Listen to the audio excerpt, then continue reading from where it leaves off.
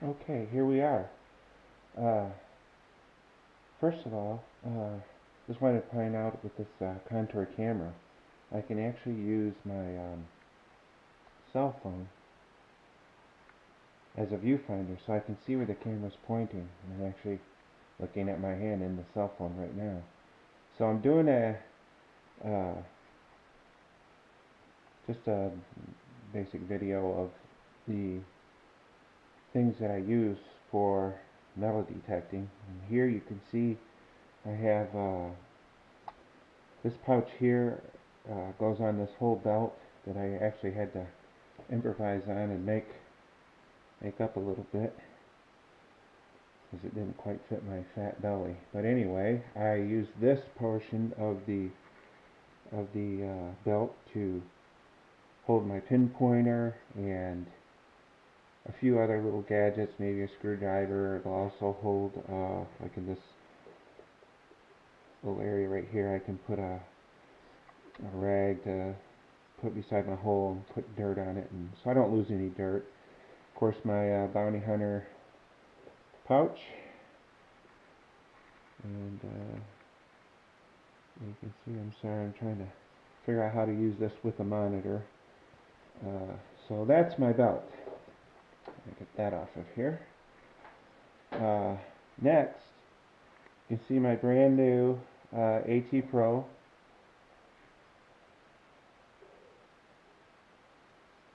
And uh, I've actually had it for about, I'd say, six weeks.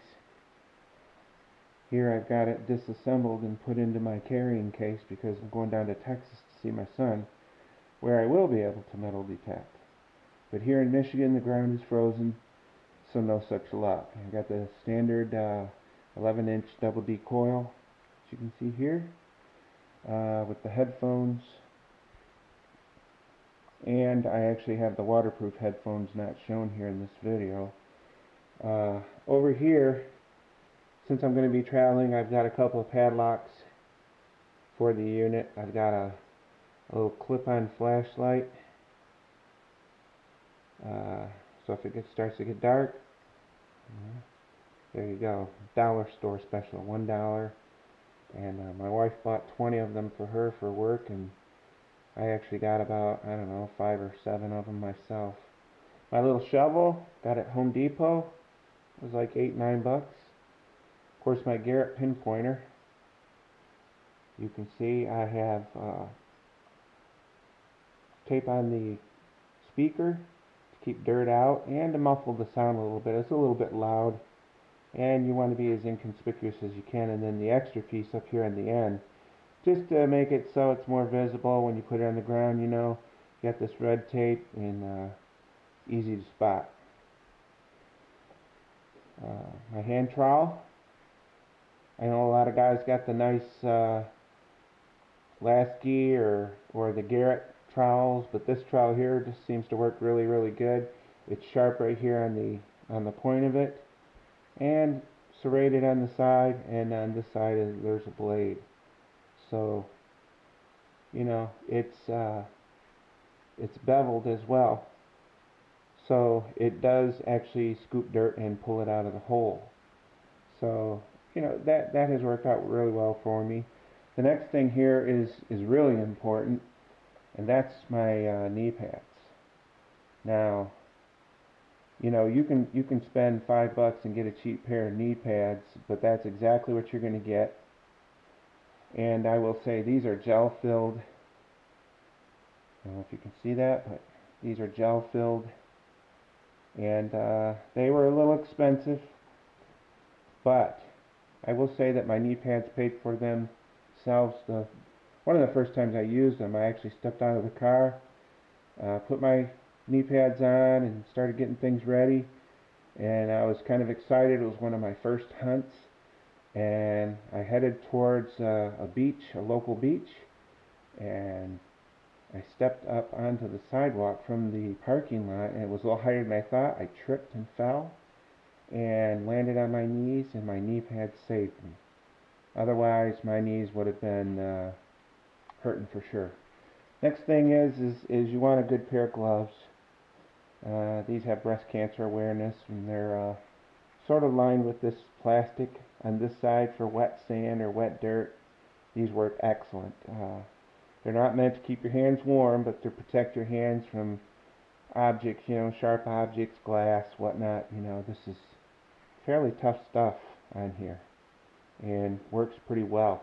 They clean up real nice too. These were really dirty and uh, I just rinsed them out under the uh, faucet for the most part and then threw them in the washing machine and they came out great. Uh, this is a jeweler's loupe, and I can use that you know when I get coins you know you're constantly seeing guys on here uh, can't tell the the date they pull out a magnifying glass still can't see it well I'll wait till I get home and get my jeweler's. Loupe well I carry one on me you know they're they're really inexpensive. They're like five bucks on eBay. And uh, this one's like a it's a 40 times. So it it's it really brings it up close and I like it.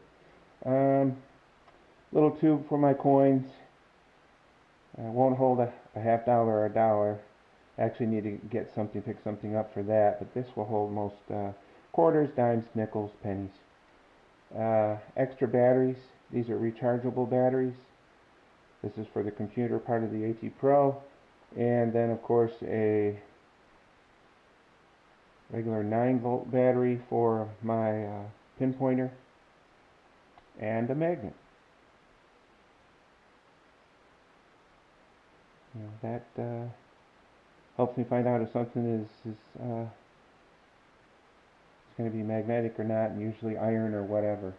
But uh, as you notice too, the case that everything is in, this is actually a double gun case that I bought, and I've never really used it. I think I may have used it once. Uh, but I'm going to be flying to Texas, and I've already had it closed, and it fits perfectly. The uh, the detector alone fits in there perfectly. How much of this other stuff I'll be able to get in here, I don't know. I don't intend to take the shovel.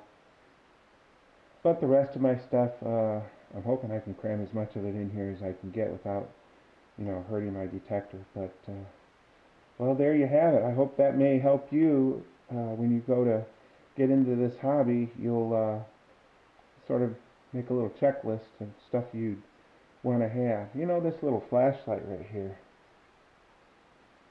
if I'd have had this earlier on, I would have been able to dig a little bit more before things got frozen up out here. I uh, got dark on me one of my last hunts, and I didn't have a light with me, and I've got tons of head flashlights and things, and just didn't do it.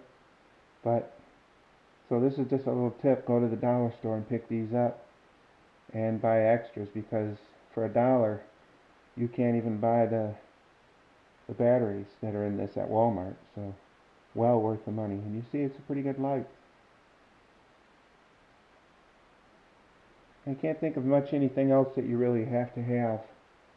Um, pardon the mess down here in the basement. We're uh, doing some renovations upstairs and actually trying to refinish some of the furniture. So sorry about the mess down here, but I hope this video helped you out. Thanks for watching.